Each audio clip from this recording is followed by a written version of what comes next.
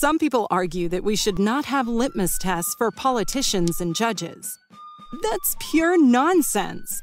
A politician could be attractive, intelligent, experienced, and have all the right answers to the important issues of the day.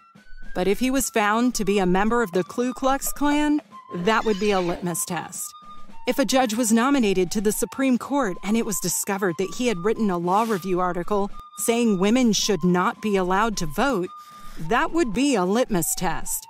If a politician said that the 911 terrorists had legitimate reasons for flying airplanes into the World Trade Center, that would be a litmus test. The fact is, there are many legitimate reasons for litmus tests, and people who claim they don't have any are either lying or they have no core principles.